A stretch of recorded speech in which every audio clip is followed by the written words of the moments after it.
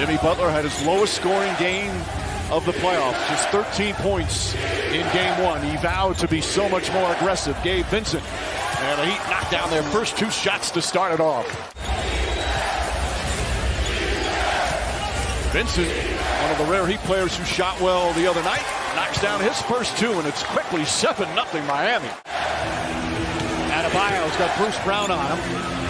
Adebayo using his height. Brown makes him take a tough shot. Highsmith the rebound. Vincent releases quickly and knocks down the three.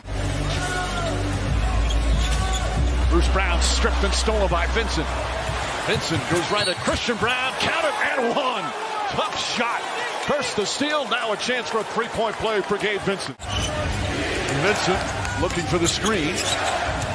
Gets inside. The floater's up and good. Hey, Vincent cuts it to five. Miami bouncing back. That's been the storyline all season for the Heat. Vincent fires and hits. Vincent another three-pointer. He's got 15 points. He leads all scores other than trying to make him score and be a little less efficient. Vincent wide open, puts it up, puts it in. Hey, Vincent's got 18 now, and it's back to two. Timeout, Denver. Vincent's been the Heat leading scorer. Open three, Gabe Vincent knocks it down. Gabe Vincent is fourth three-pointer, and Miami their first lead since early in the second quarter.